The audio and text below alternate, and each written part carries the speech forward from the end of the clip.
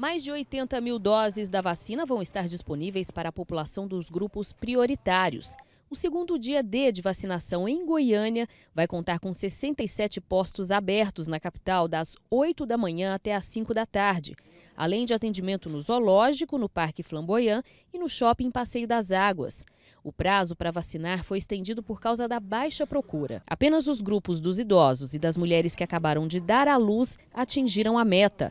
A preocupação maior da Secretaria de Saúde é com as crianças, com apenas 76% delas vacinadas, e com os portadores de doenças crônicas, grupo com índice de vacinação de apenas 60%. Nossa preocupação porque esses grupos eles estão em risco de desenvolver a forma mais grave da doença e chegar ao óbito. Em 2018 nós tivemos altas coberturas vacinais, mas se esse ano nós não alcançarmos a meta para esses grupos, é provável que no ano seguinte nós tenhamos epidemia de influenza novamente. Na segunda-feira, as doses que ainda restarem vão ser colocadas à disposição de toda a população, mesmo quem não faz parte dos grupos de risco.